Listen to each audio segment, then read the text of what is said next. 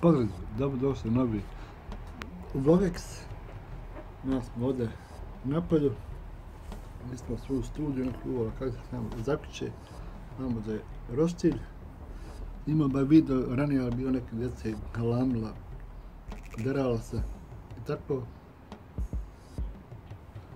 Sad snimam ovaj vlog da, da i ovaj mjesec prekrižimo u challenge vlogovanje do nove godine. Danas nam ovdje lijepo vrijeme, sunčano, toplo, vruće, pravo kako treba za vozanje. Opet neka nova majica na meni, Coca-Cola, kapa i sve Coca-Cola. Jedna Coca-Cola je već otišla, litar 25, ono pakovno si imalo malo Oslo je danas, popilo se, valja ponovo kupovat. Tako to ide. Nije tema.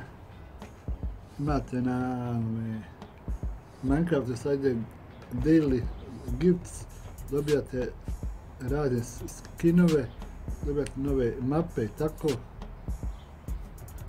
Tako da kogod igra Minecraft sad treba da klema onaj mape, sve to treba.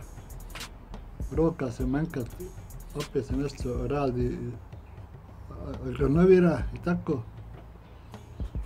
Kome ti to ovako ide, ujutro trening, da ima 7-8, poslije, se prate streamovi, na trovi YouTube i tako, montira se video, ali tako kome prolazi dan. Tako je svaki dan.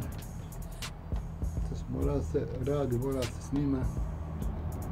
Nema nikakvih fajla više, na, sve sam izbrisao, sredio. Bolje da su mi isti fajla su bile ovdje na telefonu, isti fajlovi su na PC-u. Tako da ću sam prebaciti ne, tamo, ono se PC-a, to je to. Ovo samo jedan kratki update poslije kraj mjeseca da ovo sredimo, idemo u nove pobjede u novom mjesecu. Vidimo se sutra.